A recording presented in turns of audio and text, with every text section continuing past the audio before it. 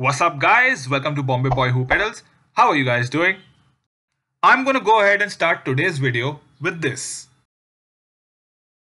Do you guys remember this? The chainless CeramicSpeed DrivEn drivetrain concept? It was blowing up all over the internet barely 6 months ago, even though it was just a prototype. Well, what if I told you guys that we have something quite similar and much more functional on sale in India right now? Exciting, right?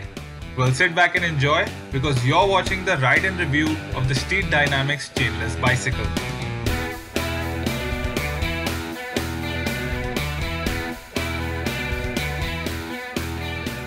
Steed Dynamics is a subsidiary of Ceeyes Engineering Industries Private Limited, which has long been a manufacturer of camshafts for defense and railway giants.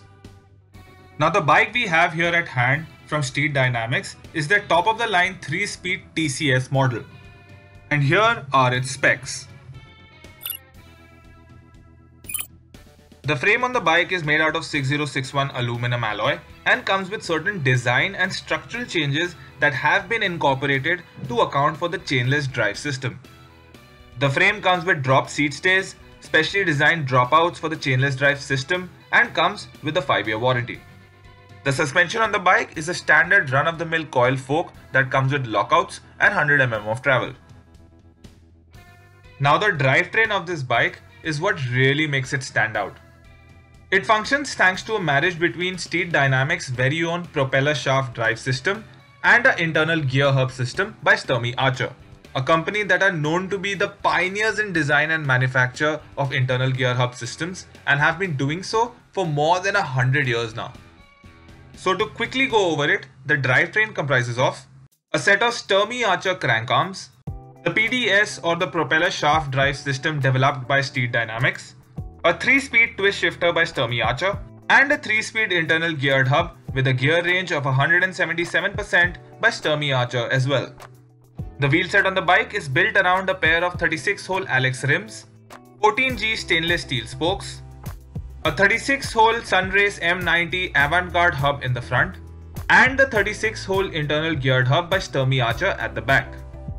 The rubber on the bike is provided by Kenda and are a pair of 700 x 35C hybrid tires.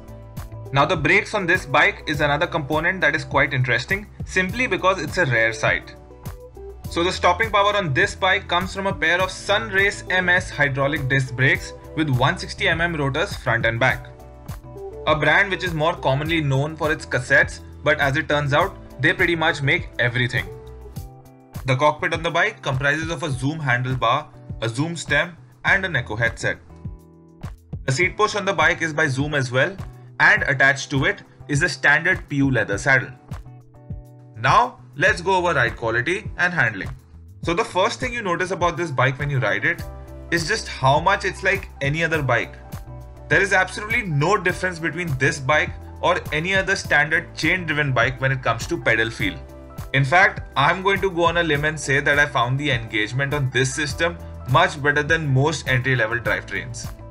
The internal geared hub system with 3 speeds and a gear range of 177% does seem a little limited. But then again, this bike is a city commuter and for that purpose, it should be sufficient. The suspension on the bike is surprisingly plush and does a good job eating up the bumps and speed breakers while you're riding. So overall the ride quality and handling of the bike is quite decent.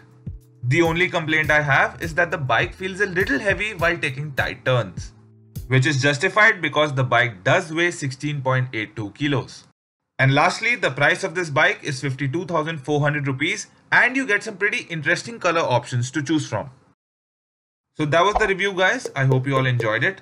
Now before we end the video, like always, I'd like to give a big shout out to Shaurya Cycles who've been kind enough to provide this bike for the video. Also before you guys tune out, make sure you like and share the video and whack that subscribe button. Until next time, this is Bombay Boy Who Pedals. Bye bye.